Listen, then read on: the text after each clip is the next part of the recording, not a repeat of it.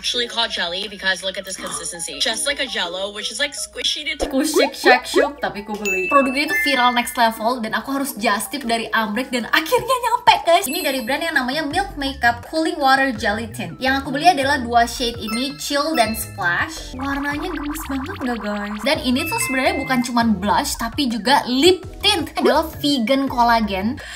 Moment of truth. Wait How? Wah, moment of truth Oh, cakep. Guys, ini warnanya cakep banget. Wait, what?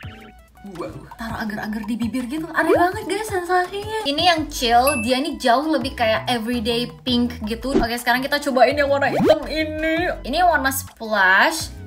Jatuhnya tuh warna unguan guys dibanding yang tadi. Bagus guys.